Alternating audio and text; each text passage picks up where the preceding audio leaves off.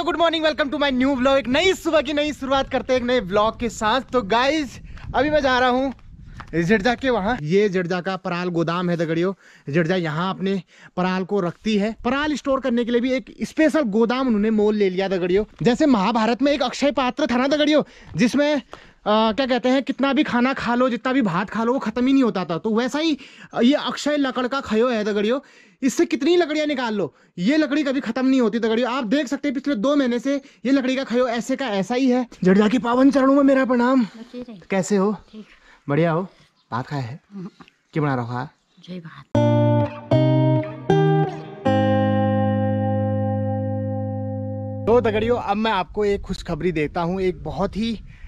ज़बरदस्त न्यूज़ है आप लोगों के लिए और पूरे उत्तराखंड के लिए, पहाड़ी फैमिली के लिए, पहाड़ी बाखली के लिए, दगड़ियों।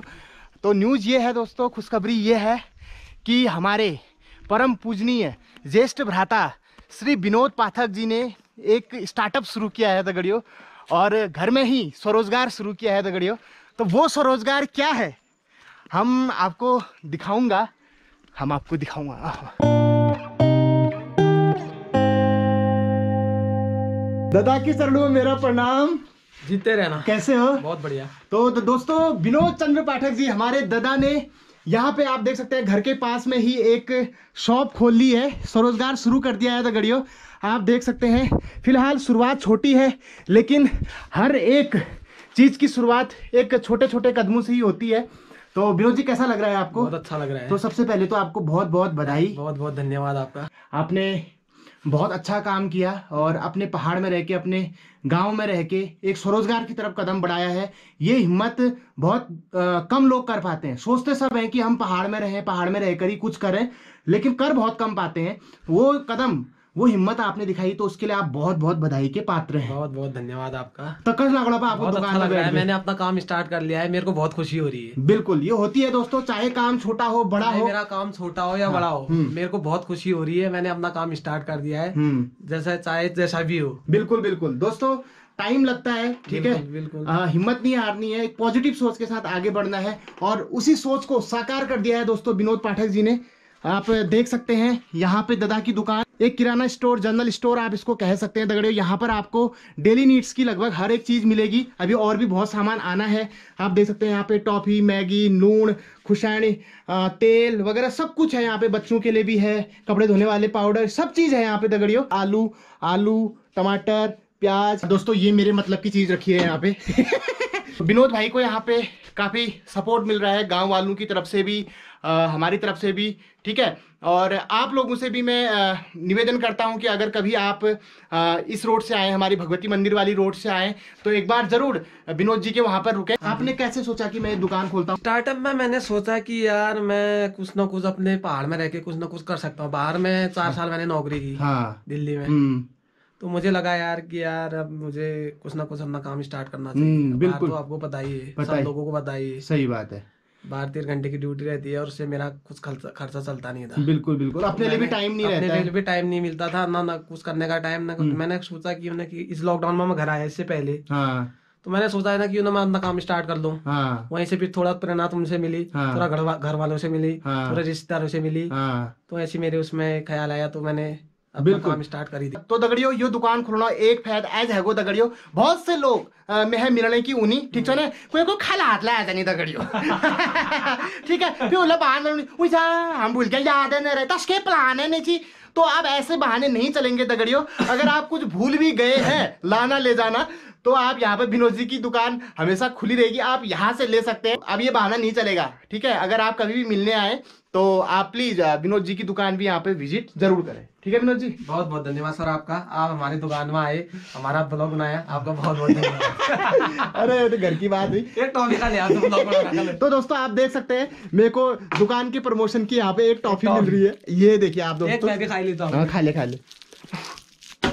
तो टॉफी वॉफी खा लेकिन तानसेन आनसेन ना खाए हाँ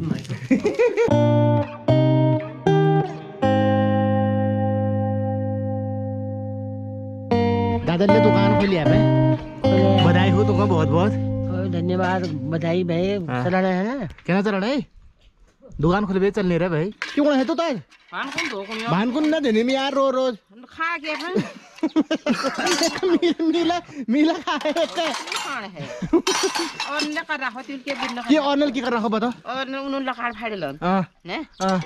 और भित्र साफ़ है तो पटकन झाड़ो अम्मा क्या कर रहा हो? अम्मा अपन बुढ़ में वो के कराला कर रहा हो उनले अपन बखर के कर रहा अम्मा अम्मा में क्या है तो बहुत झगड़ोना काम क्या करते मैंने देने यार झगड़े बोल लाग आ मैं कहता माज जो लाग लाग माँ धोई फिर जा रहा माँ धोई ना. दोस्तों ऐसे देख रहे परदेसी यहाँ तो तू थार भान देना काम जाऊ ना. याला खाना का काम भान दे ना? ए बांधणी बुआ दीजिए तो. Hum? Não pode levar a água. Não. Não?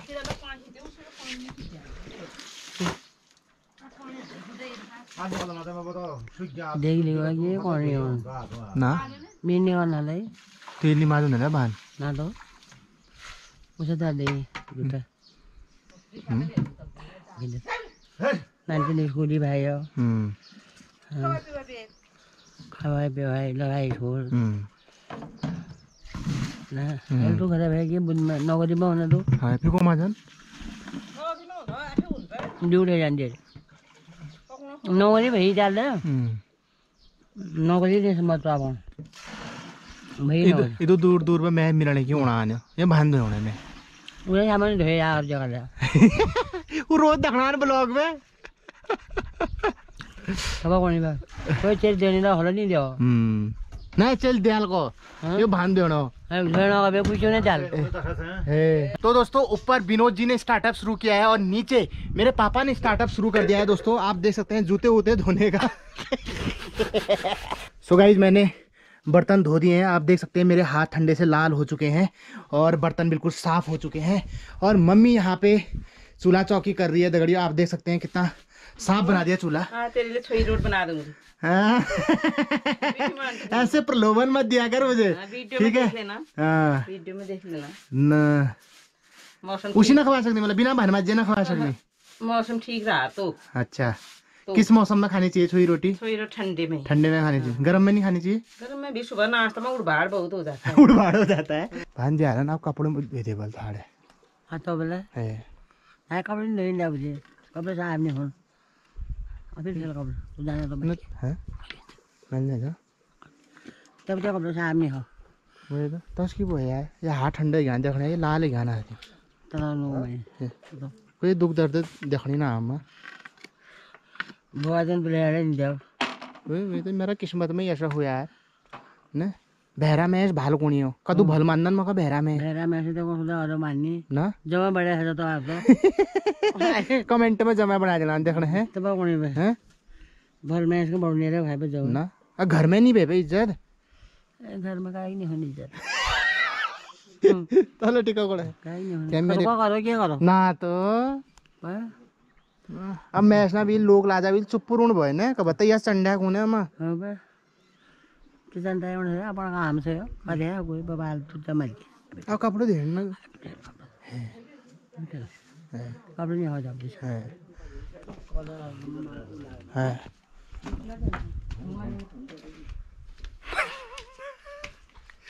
Mummy मेरे से कपड़े धोने को नहीं बोल रही थी मैंने खाली अम्मा को बताया ये ठीक है ना ये अम्मा को थोड़ा सा विटामिन मिलते हैं। तुम बोलते हो ना अम्मा को क्यों भड़का रहा है क्यों भड़का रहा है? ऐसे नहीं भड़काते मम्मी तुम्हारी कितनी अच्छी है। हमें भी पता है मम्मी बहुत अच्छी मेरी मम्मी है मेरे को नहीं पता होगा।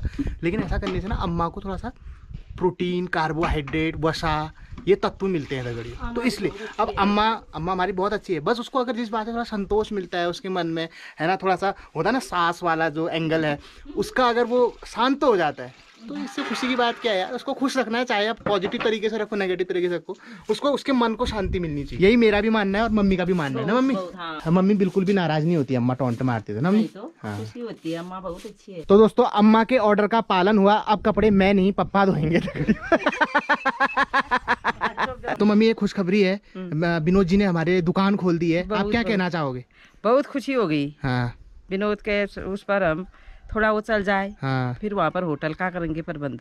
बिल्कुल। जिसमें ताई जी की दही पनीर पालक की रेसिपी हाँ। और मेरे भटके डुबके हाँ। चटनी हाँ। सोई रोट हाँ। आलू के परोठे जो भी तेरी यूट्यूब फैमिली है हाँ। पूरा वहाँ पर रेस्ट करेगा। बिल्कुल बिल्कुल बिल्कुल। पूरा यहाँ आएगा। तो दोस्तों यहाँ पे तो मम्मी ने एक और स्टार्टअप आइडिया दे दिया है विनोद जी को कि दुकान के साथ साथ वो एक अपना होटल भी वहाँ पे चला सकते हैं आने वाले टाइम पे। नमस्कार।